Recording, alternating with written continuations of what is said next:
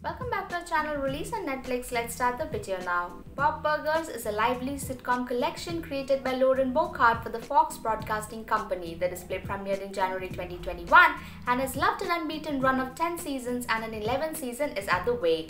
The display has been nominated for numerous awards consisting of the Primetime Emmy Award for an Outstanding Animated Program, seven consecutive instances, prevailing in 2014 and 2017. The 11th could have the display 200th episode, Bob Belcher and the Terrible, Horrible, No Good, Very Bad Kids. The manufacturing of this franchise by no means stopped with inside the pandemic.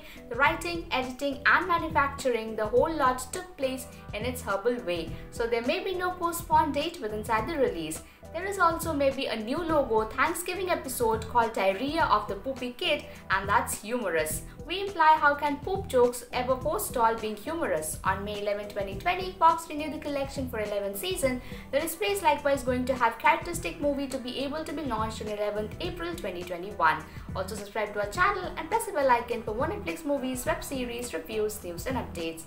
The first season has become a first-rate achievement for the franchisee, so they are coming with every other season. This time, enthusiasts will cross on a one-on-one -on -one kind of adventure in which may they experience their preferred display. Like Maximum shows, each episode has one-of-a-kind story. Currently, there isn't any information on what the plot of the broad new season may be like. However, the call of the primary episode of the 11th season become discovered, which is Dream a Little Bob of Bob, H. Benjamin, Dan Mintz, Eugene Mirman, Larry Murphy, John Roberts, and Kristen Schaal are returning to their voice their characters but inside the new season alongside the numerous ordinary cast members. This is not an usual place where approximately Mrs. Fischoeder is rational seeing as he always worn a watch patch all through the whole display. It is a part of him makes him such a strange man or woman, but many have questioned why he wears a watch patch with inside his first place.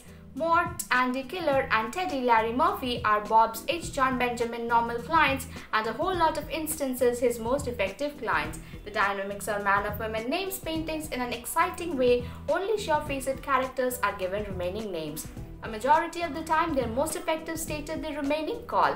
Thank you for watching the video till the end. For more Netflix movies, web series, reviews, news and updates, please visit our website www.releaseonnetflix.com and if you like our video, hit the like button and share with your friends. To stay updated, please subscribe to our channel Release on Netflix.